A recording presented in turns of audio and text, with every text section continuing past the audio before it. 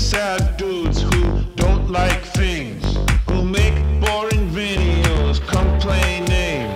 Why does YouTube want to show me weird sad dudes? I've never clicked on any other videos. Weird sad dudes who don't like things.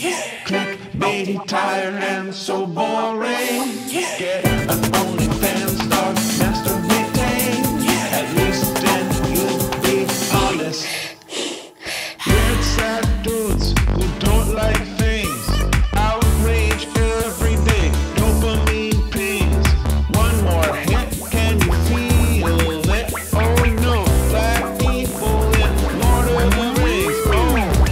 sad dudes who don't like things. Who make boring videos complaining.